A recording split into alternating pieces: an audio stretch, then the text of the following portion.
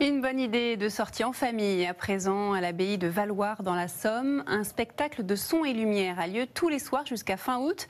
Les projections lumineuses subliment les façades du monument cistercien et permettent aussi de déambuler dans le site de nuit.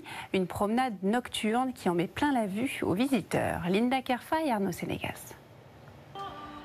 C'est une déambulation nocturne qui met en lumière la splendeur d'une abbaye unique. Une balade de plus d'une heure au cœur d'un joyau architectural fondé au XIIe siècle par les cisterciens. Et leur lieu de vie a une influence considérable dans leur quête de paix intérieure.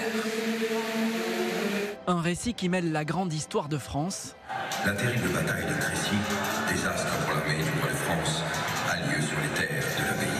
À celle d'une abbaye totalement reconstruite au XIIe siècle.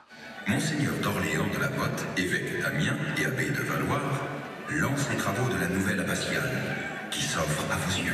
C'est un spectacle qui a comme euh, but de faire connaître l'abbaye, le faire vivre, de montrer sa splendeur grâce au, au spectacle, mais également de faire connaître ce qui s'y passe réellement à l'abbaye. Car le lieu accueille des enfants défavorisés. Tout l'été, le spectacle apporte une source de revenus à l'association qui fête ses 100 ans.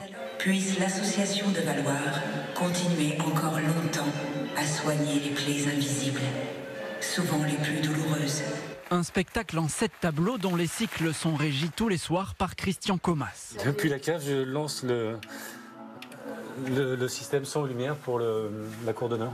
Et je file au tableau suivant pour, pour le démarrer. Une organisation bien rodée pour permettre aux spectateurs de profiter autrement de la beauté de l'église, du cloître et bien sûr des jardins. On vient souvent voir les jardins parce que c'est vraiment magnifique, euh, mais le voir le soir avec les lumières comme ça, c'est quand même assez extraordinaire. Ouais. C'est féerique. Pour moi, c'est féerique. Je voyais les enfants qui, qui avaient les yeux vraiment écarquillés. L'an dernier, le spectacle a attiré 11 000 spectateurs. Il est à découvrir jusqu'au 28 août.